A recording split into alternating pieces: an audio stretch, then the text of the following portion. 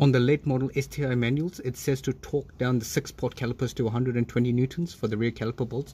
So please do your own research and tighten it to whatever spec that you find it suitable. But my recommendation is between 110 to 120. But again, do your own research.